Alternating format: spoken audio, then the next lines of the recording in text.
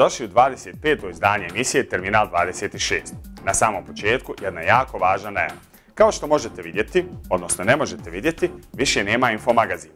Ono što sada ima jeste ovo na televiziji, odnosno emisija Terminal 26, te naš novi redizajnirani website, odnosno portal koji možete naći na adresi www.info.ba. Tu i dalje možete čitati IT novosti, zanimljive priloge, recenzije softvera, hardvera i video igara, te i sve ostalo što vas može zanimati iz svijeta informacionih tehnologija. Tako da nas obavezno pratite na našem portalu, ali na Facebooku i na Twitteru. Adrese već znate. A sada nazad na sadržaj emisije. Ovo je jedno od rijetkih izdanja kada nemamo recenziju naprednog telefona ili tableta, što i nije toliko loše, s obzirom da imamo i dalje vrlo zanimljive hardverske recenzije, kao što su ups, Asusov gaming headset, te pored toga Prestigio media uređaj koji će od vaših nepametnih, odnosno ne smart TV-ova, napraviti smart TV uređaj. Pored toga imamo zanimljiv tek, vrlo interesantnu domaću aplikaciju, a bili smo na jednom domaćem IT događaju. Na samom kraju recenzija PlayStation 4 hita fenomenalne grafike Infamous Second Son. A sada, IT novosti.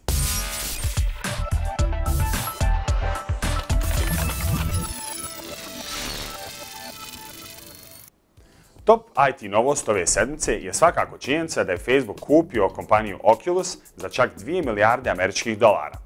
Ono što nažalost nisu uspjeli kupiti za te 2 milijarde jeste i naklonost svih gamera koji se nadali svemu onome što će Oculus Rift donijeti. Tako da su između ostalog došli do problema.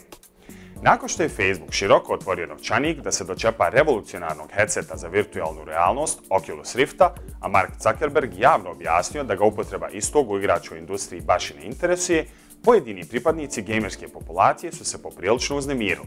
Tako je Marcus Notch Person otkazao Minecraft za Oculus Rift, ali su drugi počeli preduzimati mnogo radikalnije mjere, pa sada upućuju prijetnje smrću zaposlenicima Oculus VR-a i uznemiravajuće telefonske pozive. Međutim, nisu se zaustavili na tome, nego prijeti čak i članovima njihovih porodica. Jedan od zaposlenika, Palmer Lucky, na Redditu je povodom ovoga rekao Znamo da ćemo se dokazati djelima, a ne riječima, ali ovo je apsolutno neopravdano. Naročito zato što utječe na ljude koji nemaju ništa sa Oculusom. Vidjet ćemo kakav će biti razvoj situacije. Samo zato što nemamo recenzija naprednih telefona ne znači da možemo pobjeći od IT novosti koje su vezane za njih. Tako nam prva ovo sedmična mobilna novost dolazi iz kompanije ZTE, a vezana je za njihov flagship Grand S2 koji donosi čak 4 GB RAM memorije. Kineski proizvođač ZTE se i tekako pokušava progurati u premium tržišta uređaja. Njihov najnoviji model, Grand S2, koji tek treba ogledati police trgovina u Europi, već je pobrao lovorike za svoj sjajan izgled, za koji moramo priznati dugu inspiraciju HTC One modelu. Ipak, po specifikacijama, ZTE se odlučio odmetnuti od konkurencije. Pored Snapdragon 801 procesora, ZTE će u određene verzije Grand S2 modela stavljati čak 4 GB RAM memorije, što je maksimum koji podržavaju 32-bitni ARM čipovi. Istu količinu memorije je nedavno nagovijestio i Samsung, ali se čini da će 3 GB RAM ostati izbor većine konkurenata, barem dok ne dobijemo prve prave 64-bitne mobilne procesore u kombinaciji s Androidom. A s obzirom na gomilu glasovnih funkcija, Grand S2 će možda i trebati taj silni RAM. Satya Nadella i ostatak Microsoft ekipe definitivno ne čekaju. Tako su uspjeli da se infiltriraju i na neprijateljsko tržište, odnosno na iOS Marketplace, gdje su konačno predstavili punu pravu verziju Office for iPad. U jednom od prvih poteza, otkako je Satya Nadella zasio na čelo kompanije, Microsoft je konačno predstavio Office za iPad sa Wordom, Excelom i PowerPointom koji omogućuju besplatno pregledanje dokumenata i prezentacija. Za editovanje i kreiranje novih dokumenata ipak potrebno je pretplatiti se na Office 365, što korisnicima omogućuje instaliranje Office-a na do 5 tableta, PC-eva i Mac-ova. Sve aplikacije krasi isto formatiranje dokumenata kao na desktop verziji Office-a, tako da će oni izgledati identično na ekranima različitih uređaja. U cilju forsiranja clouda, dokumenti se po defaultu snimaju na OneDrive servis. Pored toga, Office Mobile za iPhone i Android smartphone od danas je besplatan za kućnu upotrebu, a Word, Excel i PowerPoint za iPad je moguće skinuti sa App Store-a. Na samom kraju IT novosti ostaćemo još malo u mobilnim vodama. Tako je HTC predstavio nasljednika svog flagshipa modela One i zamijenio ga je novim modelom One M8. Pa idemo vidjeti što on donosi, a s obzirom da ćemo u aprilu biti na njegovoj oficijalnoj prezentaciji u Zagrebu, možete više detalja očekivati krajem mjeseca. HTC One M8 donosi nekoliko zanimljivih inovacija i promjena. Za početak, LCD 3 ekran Full HD rezolucije je porastao na punih 5 inča dijagonali. Samo tijelo je nešto teže, s obzirom da je količina aluminijuma u tijelu porasla sa 70 na preko 90%. Ispod haube se krije Snapdragon 801 quad-core procesor radnog takta 2,3 GHz, 2 GB RAM te 16 ili 32 GB prostora uz SD slot za ekspanziju do gigantskih 128 GB prostora. HTC One M8 posjeduje dual kamera setup, to jest dvije kamere. Ultrapixel tehnologija i dalje tu, kao i rezolucija od samo 4 megapiksela. Novi Sense 6.0 korisnički interfejs je izgrađen na bazi Androida 4.4 KitKat te nudi redizajnirani blink feed. Konačno, HTC se odlučio za pametni flip cover imena .view, a koji kroz probušeni cover nudi pikselasti prikaz notifikacija, poruka i poziva. Novi HTC One M8 je lansiran u Sjedinjenim američkim državama i Europi već protekle sedmice po cijeni od 649 američkih dolara, dok se na ostalim tržištima očekuje krajem aprila.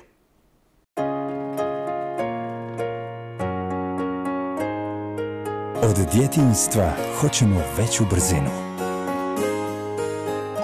Tragamo za većom slobodom. I jedina granica je naša mašta. Zato kad odrastemo, znamo šta želimo. XDSL, super brzi internet. Dajemo više, BH Telekom. U rubrici Da li znate opet testiramo vaše znanje. Pa vas pitamo, da li znate koja je kompanija o svoje igre poklanjala i rukavice? Odgovor saznajte na kraju emisije. Šta? Šta? Nećemo od headseta, jer zvuk je zaista odličan. U našoj prvoj hardwareskoj recenziji predstavljamo vam Asusov Cerberus Gaming Headset, koji nudi zaista sjajan zvuk, fenomenalan izgled, a sve po relativno prihvatljivoj cijeni.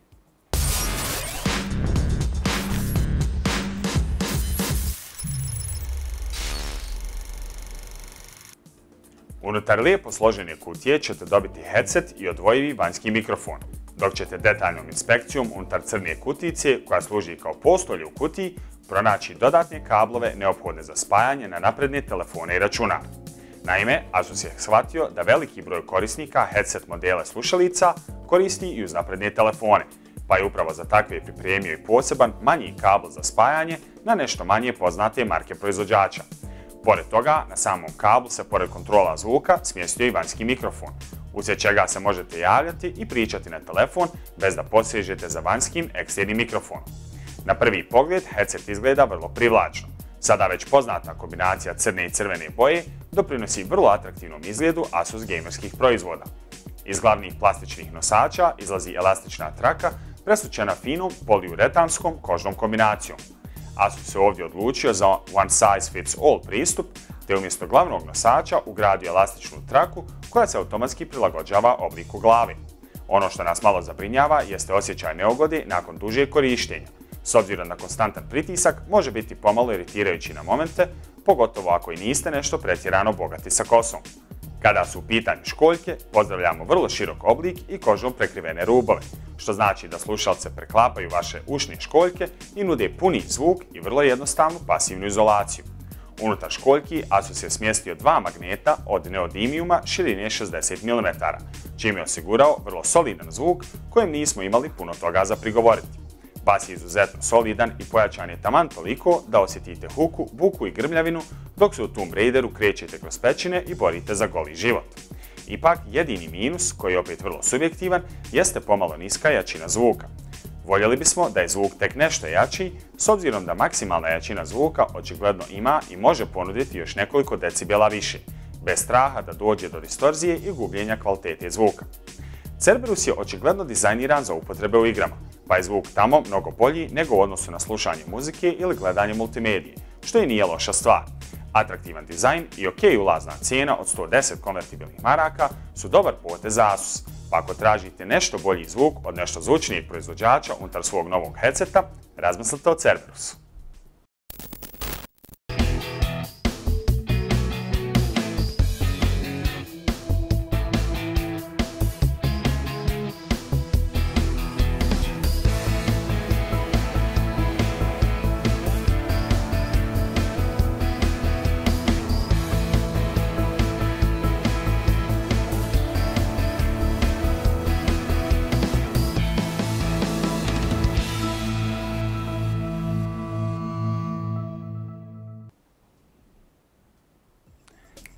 Nije to baš uvjerljivo kao što radi momci sa MIT-a. Ono što oni radi jeste zapravo da putem Kinect kamere prenosi fizički osjećaj dodira, koristeći različite senzore i elektrode, te su upravo napravili ovo.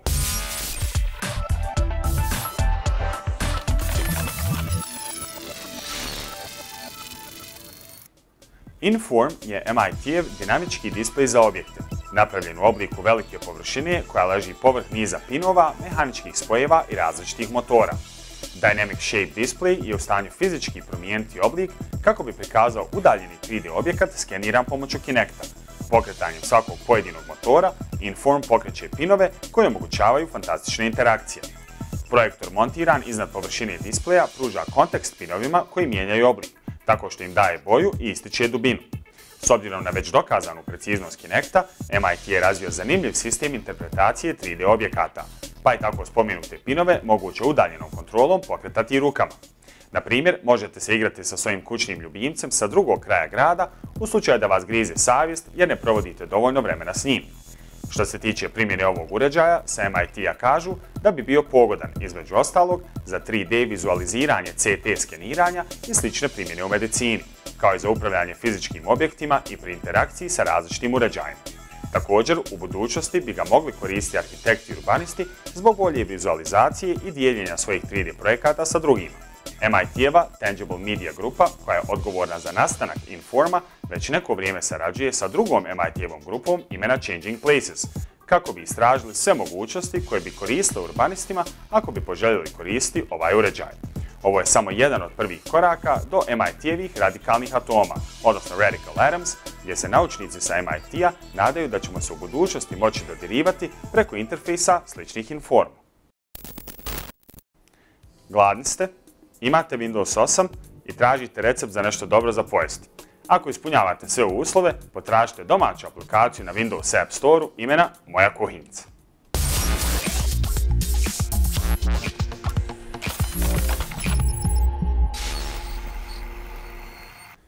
Studentica Elektrotehničkog fakulteta u Banja Luci, Jelena Miodragović, prijatno nas je iznenadila Windows 8 aplikacijom dopadljivog naziva Moja kuhinjica aplikaciju namijenjenu lakom pristupu receptima različitih jela te provjeri njihove kalorijske vrijednosti, Jelena je razvila u sklopu Microsoftovog regionalnog i nacionalnog takmičenja u razvijanju aplikacija za Windows 8.1, a koji je namijenjen studentima.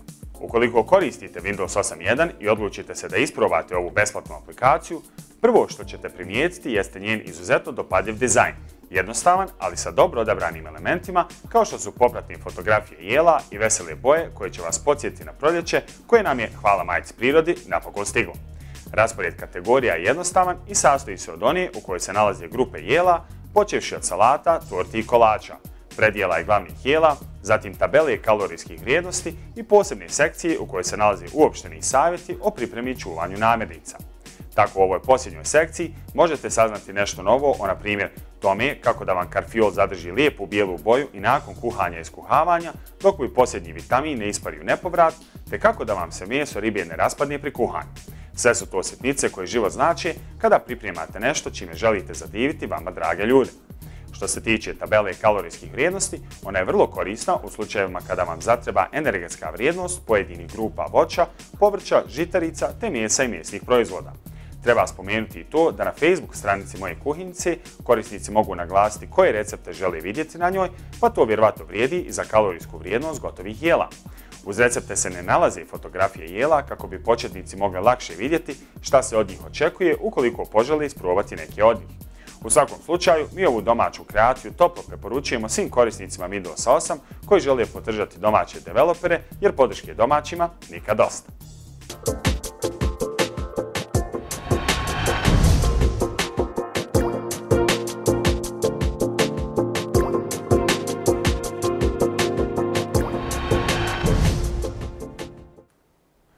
Što ste mogli primijetiti u proteklim emisijama, naš Philipsov TV uređaj nije Smart TV, a pogotovo nije Android TV. Međutim, zahvaljujući Prestigio Media Centar uređajima, on je postao upravo to, Android Smart TV uređaj. Idemo vidjeti šta mi mislimo o svemu ovome.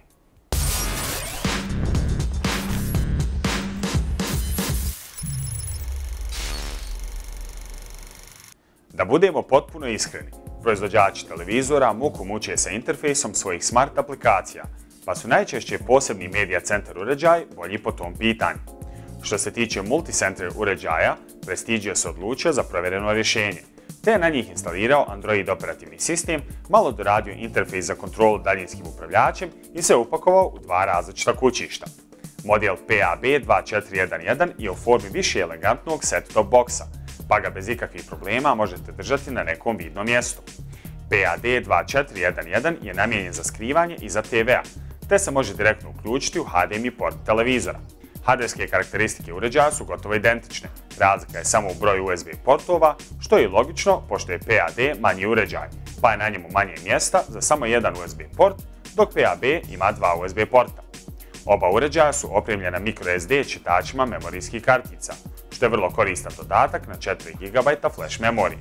Daljinski upravljači za oba uređaja su identični, sa 5 tipki i D-padom. Dizajnerski podsjećaju na Apple TV daljinski upravljači, ali D-pad im nije osjetljiv na dodir, nego na pritisak. Prestigio je napravio dobar posao sa prilagođavanjem Android interfejsa za upotrebu na velikim ekranima i upravljanju daljinskim upravljačem. Naravno, najveći problem je unos teksta, ali Android tastatura solidno obavlja posao. Ne treba zaboraviti da je zahvaljujući USB portovima i poštivanju standarda od strane Androida na multicenter uređaje veoma lako spojiti bilo koju USB tastaturu ili miša, što uključuje i veliki broj bežičnih modela. Tako su problemi sa upravljanjem svedeni na minimum. Međutim, Prestigio je otišao i korak dalje, te je dodao mogućnosti koje multicenter uređaje odvaja od konkurencije. Naime, na Android i iOS uređaje je moguće instalirati aplikaciju Prestigio Remote Control, koja omogućava upravljanje multicenter uređajima uz pomoć naprednih telefona i tablet uređaja. Prestigio Remote Control nudi nekoliko načina upravljanja uređajem, od kojih je najkorisniji onaj pomoću kojeg upravljate kursorom tako što pomirate prst po ekranu telefona ili tablet uređaja. U kombinaciji sa tastaturom telefona i direktnim pokretanjem aplikacija dobiva se vrlo efikasna kombinacija. Moguće je pokretanje reprodukcije multimedija koji se nalazi na telefonu ili tablet uređaju. Ako spadate u malo naprednije korisnike Androida, onda bi vam se ova kombinacija multicenter uređaja i kontroli sa Android telefona mogla dopasti. Prestigio je sa multicenter uređajima i remote control aplikacijom za iOS i Android kreirao dobru kombinaciju koja će se posebno dopasti naprednim korisnicima Android operativnog sistema. Uz malo podešavanja moguće je dobiti vrlo upotrebljiv Media Center sistem koji će vas poštedjeti kupovine novog TV uređaja.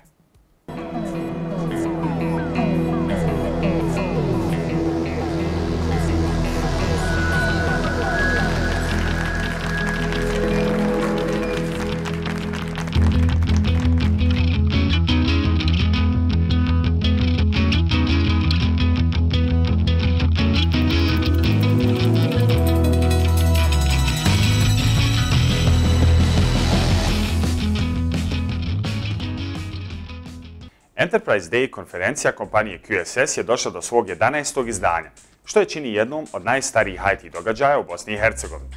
Na ovoj konferenciji, koja je nosila vrlo zanimljiv naziv imena Welcome to the Software Defined Future, razgovaralo se o softveru kao najvažnijoj komponenti svih ostalih velikih trendova u 2014. godini, kao što su cloud, big data, mobility i social computing. Mi smo za vas posjetili ovu konferenciju, pa idemo vidjeti šta se tamo zanimljivo dešava.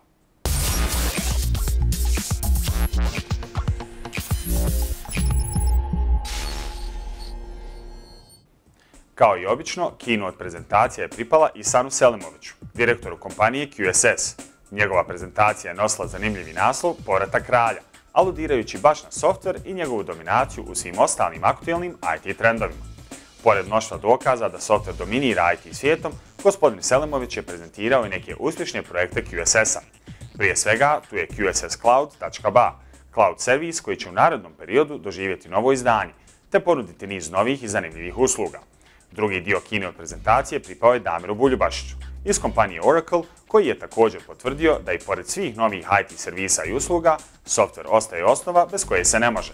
U nastavku konferencije publika se morala podijeliti u dvije grupe, pošto je zbog mnoštva zanimljivih predavanja, program konferencije morao biti podijeljen na dva dijela. Kompanija Checkpoint je prikazala sasvim novi način zaštite velikih organizacija koji je baziran na softveru, dok se njihova druga prezentacija bavila naprednim metodama zaštite od malicioznog softvera.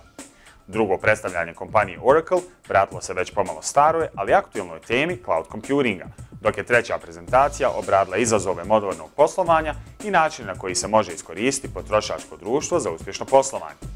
QSS konferencija bi teško prošla bez njihovog dugogodišnjeg partnera, kompanije VMware, čiji su predstavnici prezentirali VMware Operations i Automation produkte, dok je Asbis predstavio IBM-ova Managed Services provider rješenja. HSM Informatika se publici predstavila sa prezentacijom naziva kako do interaktivne edukacije i poslovanja. Symantec je predstavio svoj Protection Suite paket, dok je kompanija Cisco predstavila softverski definisane mreže. Na kraju, kompanija Veeam je predstavila svoje Backup and Replication 7 rješenje za backup podataka koje je bazirano na cloud tehnologijama. Odlična posjećenost konferencije jasan je pokazatelj da QSS-ov Enterprise Day i dalje predstavlja vrlo važan datum u kalendaru domaćih IT dešavanja. Dobrodošli u izdanje Gaming vijesti posvećeno norveškoj mitologiji, svemirskim brodovima i ljudima zatvorenim u konzerve. Kada ne radi na novom dijelu The Longest Journey avanturističkog serijala, Dreamfall Chaptersu, norveški razvojni tim Red Thread Games bavi se razvojem horror igre smještenu u Norvešku po imenu Dragway. Radi se o avanturi inspirisanoj norveškim bajkama, legendama i mitologijom koja će nas staviti u ulogu botaničara naoružanog samo kamerom i fenjerom, koji mora preživjeti noćno tumaranje poljanama i šumama kojima caruje mitska kreatura imena Draguen. Igra izlazi tek iduće godine za Windows Linux i OS X. A Halo Spartan Assault, dosadnjaša Windows 8 i Windows Phone 8 ekskluziva, pojavit će se 4. aprila na Steam, odnosno pojavio se već sada, te će osim Windows 8 podržavati Windows 7 te gotovo zaboravljenu, ali ipak i tekako funkcionalnu Vistu, barem ako je suti po Steam stanci. Igra je inače izometrijska pucačina koja vuče na dobro staro vrijeme Expendable i VDS šareno grafike. Radnja Spartan Assaulta je spartanska. Vi ste čovjek na dvije noge i sa dva oka, zatvoren u konzervu, te trebate sebi probiti put kroz grozdove vanzemaljaca različitim vrstama izuzetno razornog oružja. Nadamo se čitavom nizu ovako pametnih poteza novog starog Microsofta. A kultni strateški serijal Galactic Civilization uprzo će dobiti 64-bitni treći dio, u kojeg Stardock namjerava nagurati drastično veći broj dešavanja u odnosu na prošle dijelove, kao i veće mape. Prvi gameplay trailer ne donosi nikakva posebna iznenađenja, nego klasični strateški gameplay na poteze na kakvog smo već i navikli. Alfa verzija u kojoj je gameplay snimljen već je dostupna na Steam, dok datum izlaska finalne verzije nije poznat.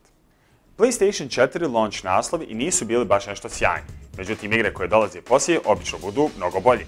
Jedna od tih koje smo jako željno iščekivali jeste Infamous Second Son, PlayStation 4 ekskluziva koja predstavlja sve ono dobro što smo imali iz Infamous serijala, pomiješano sa onim suludim elementima i super moćima kao što smo mogli imati na primjer u Saints Row serijalu. Idemo vidjeti šta mi mislimo o tome, pogotovo nakon što smo imali prilike opet imati super moći i raditi svakakve budalaštine. Dakle, Infamous Second Son.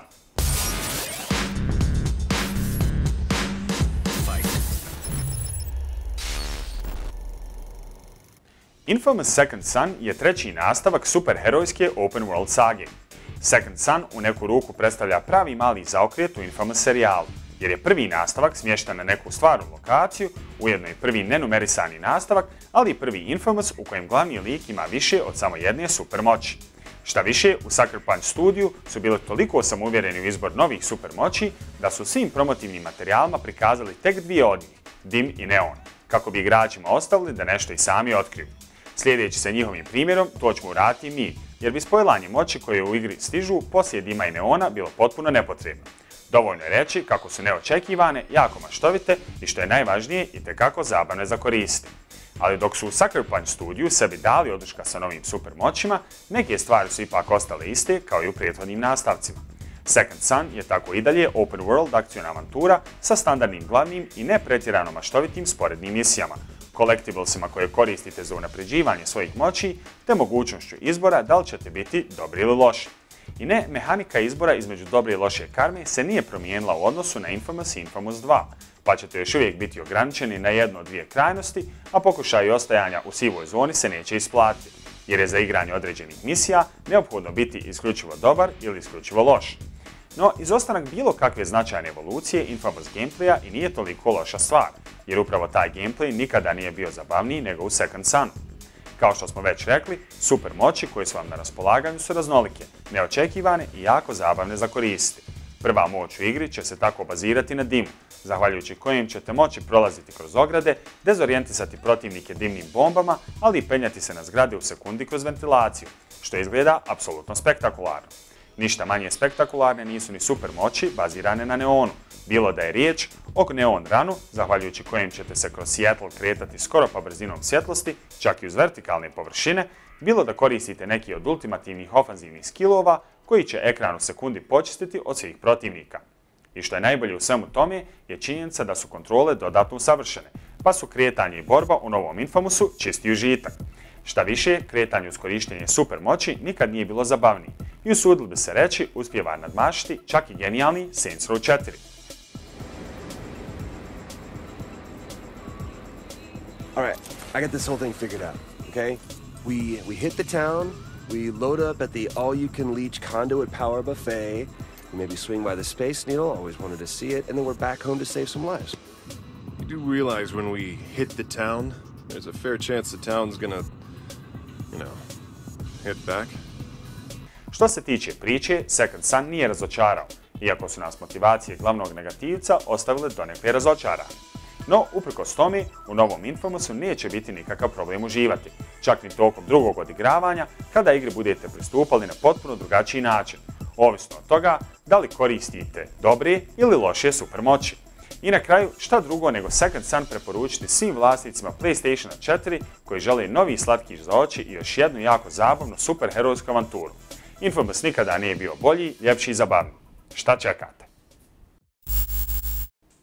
A evo i odgovora na pitanje iz rubrike Da li znate koja je kompanija poklanjala rukavice u svoje video igre. Nintendo je zbog sudske presude u svoju igru Mario Party morao poklanjati rukavice. Naime, igra je bila toliko popularna kod mlađih igrača da su je igrali više sati neprestano, pa su im se na rukama počeli pojavljivati žuljevi posjekotine. Igra Mario Party je objavljena za Nintendo konzolu Nintendo 64, a trenutno drži rekord za najduži serijal mini igara ikad. I to je to. Kapak Firont nema više. Došli smo do kraja epizode, ali nemojte zaboraviti još jednom da Info magazin više nećete moći naći na trafikama. Ali zato tu je naš fenomenalni redizajnirani portal na adresi info.ba koji definitivno trebate posjećivati svaki dan i uživati u svježim IT novostima, recenzijama softvera i hardvera, te naravno fenomenalnih igrajućih naslova. I to je to, gledamo se idućeg vikenda i obavezno se čitamo i na portalu.